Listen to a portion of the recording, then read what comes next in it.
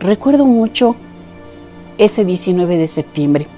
¿Cómo olvidar ese temblor? Que no estábamos acostumbrados jamás a sentir algo tan terrible y que no imaginábamos qué daños había hecho. Ni, teníamos idea, porque no había luz. ¿Qué, ¿Qué vamos a hacer?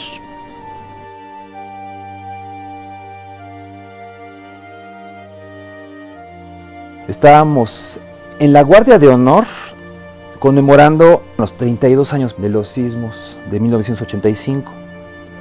Ya cuando nos retirábamos, muchos de nuestros compañeros, incluyéndome yo, traíamos motocicletas. Empieza a temblar.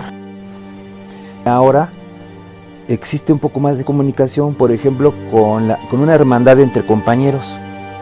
Pertenecemos a una coalición de muchos grupos de rescate en el cual todo el tiempo estamos en comunicación. Y entonces por medio del radio empiezan a, este, reportar dónde están los edificios que se han caído. El de, la, de la ambulancia del Escuadrón de Rescate y Urgencias Médicas me dice, Álvaro Obregón, esquina con Valladolid.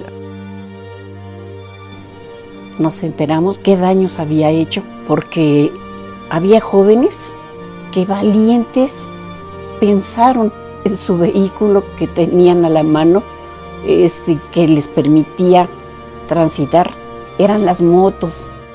Alcanzamos a platicar con los, de, los que ven, llegaban en su moto.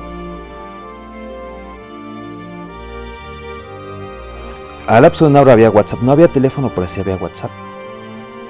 Entonces yo mandé el mensaje y dije, ¿quién la, quién la agarre? ¿no? Entonces empecé a mandar mensajes y de repente empecé a, a ver cómo me contestaban y entonces entre la gente decía, tú tienes señal, tú tienes señal, y entonces algunos tenían señal de, un, de una compañía, otros tenían señal de otra compañía.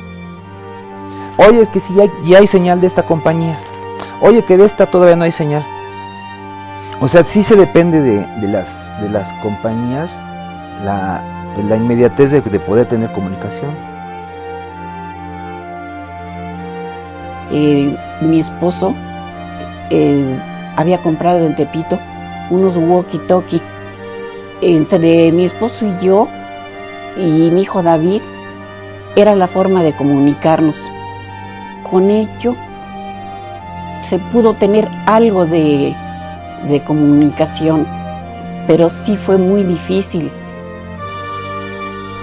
Qué hermoso hubiese sido que en ese entonces hubiésemos tenido la tecnología que ahora este pues veo yo por ejemplo